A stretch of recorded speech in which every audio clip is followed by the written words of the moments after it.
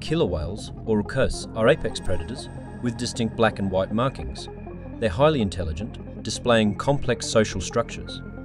Orcas communicate with unique dialects, and some populations exhibit cultural behaviours, like cooperative hunting. Despite their name, killer whales rarely pose a threat to humans in the wild.